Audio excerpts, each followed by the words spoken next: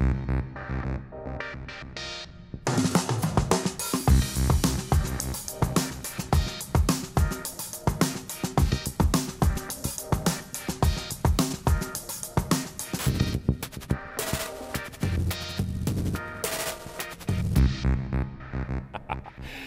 morning and welcome here at the K Morning Show in our TV pavilion uh, at our first show here in Düsseldorf. And uh, I'm very happy to have um, um, my uh, co-moderator this morning, uh, Thorsten Kühmann from the VDMA. Uh, welcome here on our little breakfast show. Good morning. Good morning. And uh, we have uh, a very special guest today, uh, and I'm very excited. Uh, it is um, Dr. Christopher Holmes, Director Materials Engineering within the Adidas Future Team. That's right. Yeah.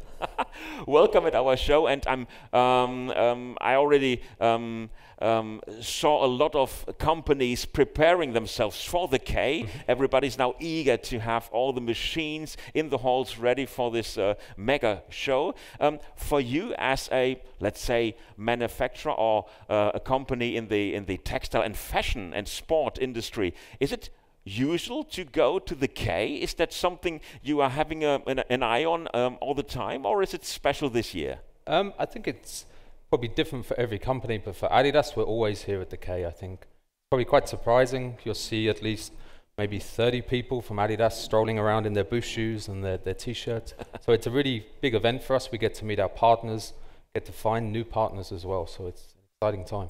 Great. Chris. Yep. You brought a co-guest. That co-guest is a very advanced shoe. The important guest. That is a very important guest. Tell me something about that shoe. What's so special about this shoe? Uh, so this shoe is very special. I think it's special in a number of ways, not only the technologies that it uses, but it's also the first shoe that's coming out of our speed factory. Okay. So it has uh, a lot of technology. We have the boost, we have um, the upper technology where we can locally place reinforcements, but I think the key thing is it's really coming for that new localized manufacturing. Before talking about the Speed Factory, what made you produce that shoe? What, what's the driving force behind that? So the driving force always comes from understanding our consumer, really understanding what they need. So what we did was develop a lot of tools which um, allows us to understand where they need different support, what they really need for their sport, and then that's how we're then able to tune the properties to make sure they have the ideal performance. Okay. And we need to then develop the tools that allow us to make that happen. And what precisely is the advantage for the user now? Is it is it a, some kind of a smart shoe, or what kind of shoe is this? So it has many advantages. So we have uh, a key technology for Adidas, which is Boost.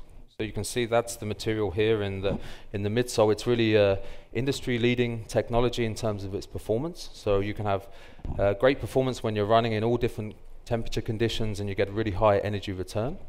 And then the second key thing, which is really noticeable about the shoe, is when you can see the construction of the upper.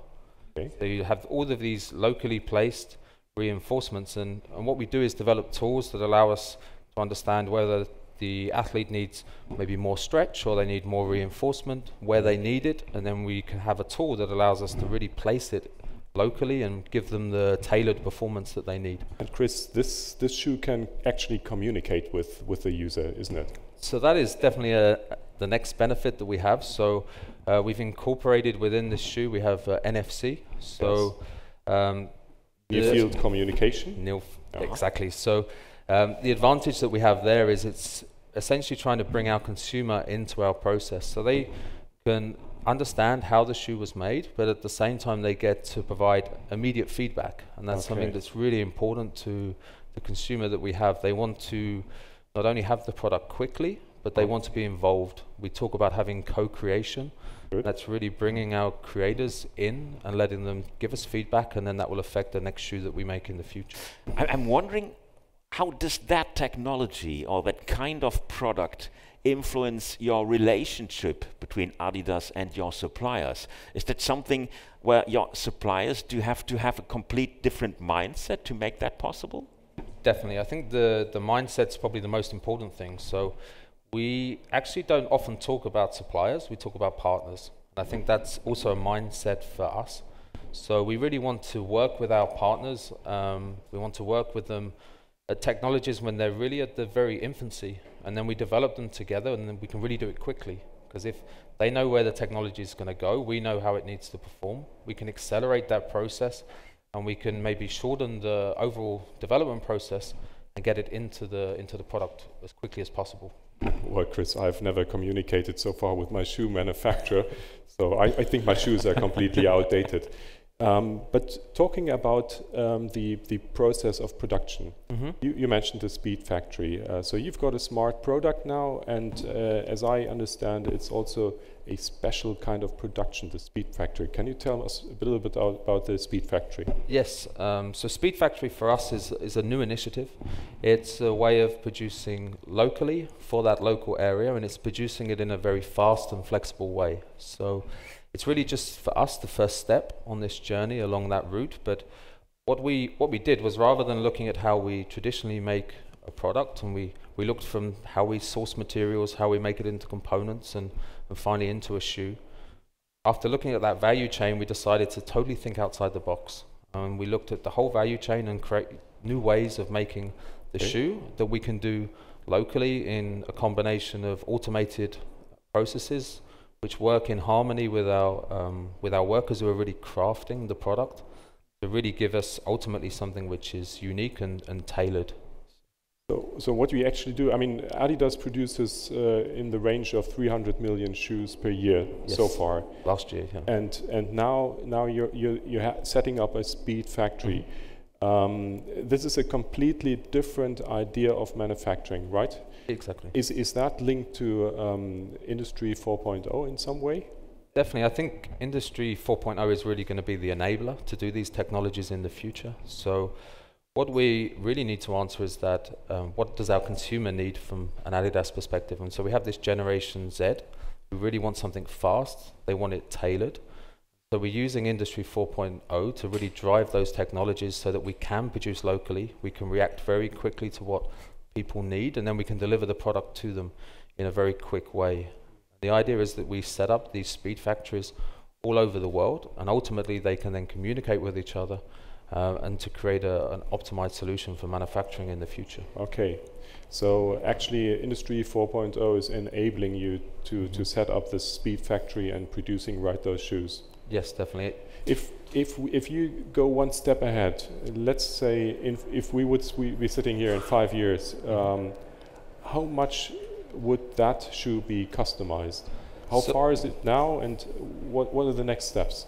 So at the moment, we're able to already customize the shoe for different groups and for different um, needs of the of the consumer. So if you're, for instance, a runner who runs urban, so within a city, they need a, they have to change direction a lot. They have to stop start, and so they have a different performance than somebody who just goes out and runs in a straight line. So with the technologies we've developed, we can already adjust the shoe to give that performance. But into the future, the vision is that we can adjust it even um, on a, a higher level, and we can really bring people in and create shoes specifically for the needs that they will have. And that's the future vision. When, you're talking to your suppliers or partners, as you say, um, do you or do you have the impression that Industry 4.0 or these innovative technologies are already sufficiently developed, or do you have to push them into this direction? How is this um, mood at the time in the in the industry? I wouldn't say that we ever really push. We would encourage our partners to come on this journey with us. Um, I think the biggest thing is the mindset. It's something unknown, it's something new. Um, it is definitely uh, a rev- revolution that's happening in terms of Industry 4.0. And so, what we are really doing is at the moment, we've taken that first step along that path. And I think it's the first step, and there's many steps to come. But if you have the right partners, they'll join you with that open mindset, and they'll really embrace that, and then you can have a competitive advantage in the future. Are you doing some kind of scouting? You told us that with 30 people from Adidas, you're walking around the, the show here to, to have a look at the booths and the exhibitors. And, and are you scouting really, or do you know all these things which are happening in the halls here? Um, I- think it's our job to know really what's happening. I think so. Over the next days, we'll have a mixture of pre-arranged meetings, but also trying to find new partners. Um, but at the same time, you can, with advances in technology, you can do a lot of that scouting using tools from your desk now. So Um, you don't have to come and walk the many halls. You can come and now walk them efficiently because you already know who you want to meet, how they're connected, and you can really um, just be more efficient in that process. Very exciting. Chris, um, the K Show is an international uh, show. It's, mm -hmm. it's a global show. Adidas is also operating on a global scale. Talking about Industry 4.0, do you see differences in the approach to Industry 4.0? If, if you take, for example, China, US, Europe, uh, can you make any differences or is it more or less the same? Um, I think everybody is taking different elements of Industry mm. 4.0, but the, the way that we're approaching it as Adidas is more on a global, um, a global approach. So we're working out of our key headquarters and building technologies that we can then implement mm -hmm. globally. So um, I think ultimately it's having the right partners and the right mindset, whether they're located in one area of the world or another. I think that's the key thing, not necessarily where they're located. Oh, very good. that is really exciting talking to you because uh, when you are talking to, to the manufacturers of those machines in the halls uh, all the time, then um, of course everybody says Industry 4.0 is to come. This is the future technology. But talking to you, makes it really visible what the advantages might be to really individualizing processes, to really customizing um, the, the networking process in the entire industry. That makes really sense now, seeing it from that kind of perspective. When do, um, do you really offer this kind of shoe or this technology to the market? Has it already entered the market? So actually we offered it to the market uh, last month. So it's, this is a real shoe, a shoe that can be bought. Steaming hot. If you could buy one it's a shoe that can be bought. So um, definitely, as you mentioned, it's a long road ahead, and we really do see that. So as Adidas, we always try and relate it to some kind of sporting event, and we, we see that we're going to run a long race, but we've taken the first step, and we've seen the first challenges, overcome them, and now the second step will be easier, and we'll keep moving forward and accelerating. So I think that's the key thing people need to start. And so we started with our um, production, and we ran production producing 500 pairs of shoes, which were sold in Berlin last month. And in fact, we had people queuing out the doors every really? morning. uh, so we were doing limited releases of the product throughout the month, and uh, every night we'd tell somebody where the next one is going to be, and they'd be queuing in the morning. All, all of the shoes were sold within hours, and uh, it's definitely just the start of things to come. So it's a matter as well of, of, of marketing and using the social networks to, uh, to, to offering this product to, to the right community, right? So yes. I guess that the people who buying those shoes um, are completely different to those who bought sportive shoes five years ago, right? Yeah, and I think the that's definitely definitely true, and also the the way that you communicate is also very different. So I think there's the traditional communication methods are moving away, and you want to target for us, our consumer, who's 14 to 19 year olds, then you target them via social media, or you interact with them via social media. So. Chris, tell us a little bit about the, the next steps. Um, the Speedfactory has been set up, the first Speed Factory here in Germany. Yes. Um, will there be many Speed Factories then in Germany, or will you spread out with those Speedfactories uh, globally?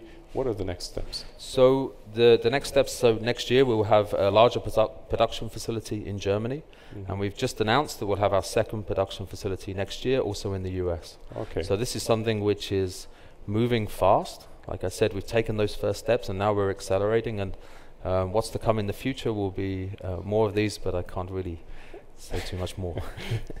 uh, let me try. let me try at least. um, what's what's the, the, the main driving force for setting up a production at a certain place? Is it located to a country, to a region, to a, to a city? What's the driving force behind it? So I think you can look at the you can look at the world now, and rather than looking at individual countries, I think it's important to look at key cities. Mm -hmm. So there's certain cities that drive the demand and the trends for the whole population. So it's important to make sure that you have a way to interact with your consumer in those key cities. So that's why we will strategically place these speed factories around the world. Um, and at the same time, they can all be interconnected and deliver the product so much quicker. So just taking out just the shipping and the distribution elements from traditional manufacturing means that we can react to the trends and we can really deliver the product when they need it. Well, how about Frankfurt, my, my home city? So that can definitely be sourced very well from our uh, our Speedfactory, which has been set up in Ansbach. I guess this is a no. no comment. Dr. Chris Holmes from the Adidas Future Team, thank you very much for being here at our little morning show. It was really exciting talking to you, and I'm very much looking forward to the next technological steps that you're taking. Thanks for being here. Thank you, ladies and gentlemen, for being here at the TV Pavilion at the K 2016, and see you again tomorrow morning for our next little show. Thank you for watching. Bye.